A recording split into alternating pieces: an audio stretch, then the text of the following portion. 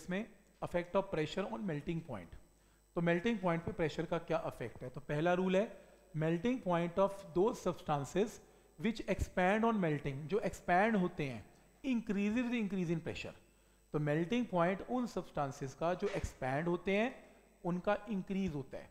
लेकिन जो क्या होते हैं? कॉन्ट्रैक्ट होते हैं प्रेशर के साथ, जैसे आइस कॉन्ट्रैक्ट हो जाती है, छोटी बन जाती है कॉन्ट्रैक्ट हो जाती है, उसका मेल्टिंग पॉइंट क्या हो जाता है?